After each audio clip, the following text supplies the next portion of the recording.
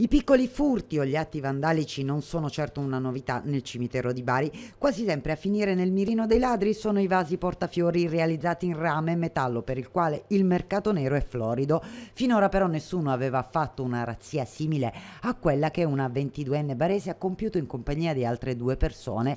459 vasi rubati e nascosti in grandi buste, a loro volta sistemate su un paio di passeggini. Quei bustoni però hanno attirato l'attenzione di una pattuglia pattuglia della Polizia Municipale. Eh, li ha visti transitare nel quartiere Libertà, si è insospettito perché portavano su delle carrozzine dei sacchi sospetti, quindi si è avvicinata per eh, controllare e subito i due uomini sono andati alla fuga sono riusciti a bloccare la donna e a quel punto hanno aperto i sacchi e hanno trovato la sorpresa di queste 450 fioriere in rame.